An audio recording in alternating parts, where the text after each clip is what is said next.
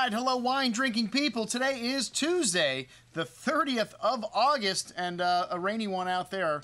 But uh, hey, man, it was a rainy day when the Mommessin family bought this Grand Cru monopole in Burgundy. It's always a good day to shop on a rainy day, and I uh, figured, what the heck, man. One of my second favorite wines in the world starts with a B. Also, we had Barolo yesterday from Chiara Boschis. Today, we've got Burgundy, red Burgundy from the Mommessin family, and uh, one of the most respected winemakers in Burgundy. Sylvain Pitiot was the gentleman that brought this property back to fame because it was in a state of disrepair before 1997. We have a couple wines from that era here on this offering 95 and 96, two very good vintages.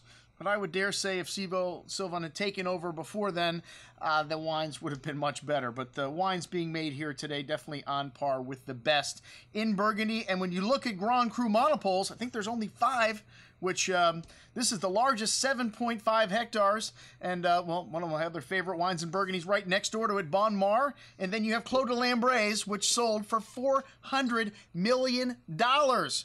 Absolutely insane. Um, because, uh, I mean, how much wine can you make from an area this size? Well, they only make 2,000 cases total, 1,500 of the first wine, and they do something that hardly anybody else does in Burgundy with Grand Cru juice. They declassify a portion of this uh, almost every vintage and make a wine called La Forge, the name of this property. Back in the 12th century, well, uh, hey man, the monks drank pretty good back then because uh, that's who owned all this land. Today, they just get beer.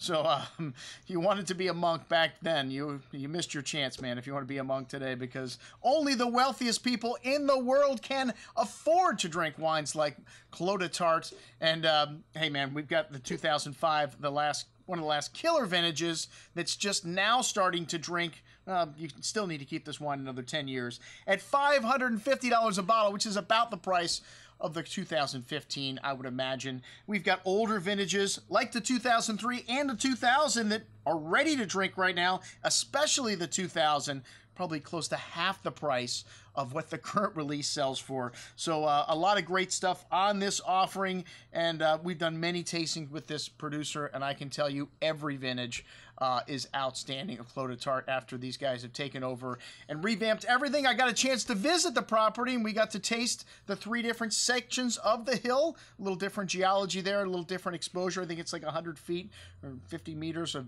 uh, difference in terms of the elevation from the top to the bottom. a clos vineyard, so there's a wall around it. And like I said, this vineyard has never been split up. One of the most special pieces of dirt in all of Burgundy. Check it out. Everything we've got from one of my favorite properties in Burgundy, Clos de Tart. I'm your host, Andrew Lampasone. Hey, and I've included everything on here that we have from the village of Morey St. Denis. Denise, also, we got a lot of other great producers, the next door neighbors of the Clos de Tart Vineyard on this offering. I'm your host, Andrew Lampasone, signing off for the Wine Watch, saying remember, always drink the good stuff first.